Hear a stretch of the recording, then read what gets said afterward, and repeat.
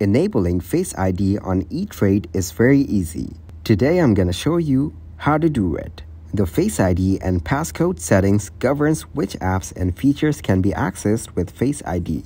Important Apple features native to your device are grouped at the top. First, make sure Face ID is set up on your phone. Next, open Settings and find Face ID and passcode.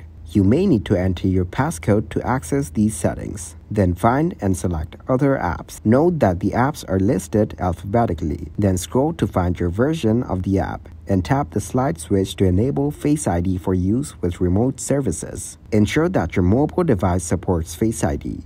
Face ID is available on iPhone X and later models for iOS devices. Face ID support might be introduced in a specific version of the eTrade app so make sure you have the latest version installed.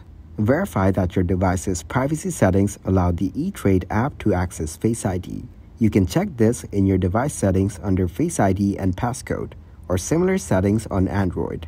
If you cannot find the Face ID option or encounter issues, consider reaching out to eTrade customer support for assistance.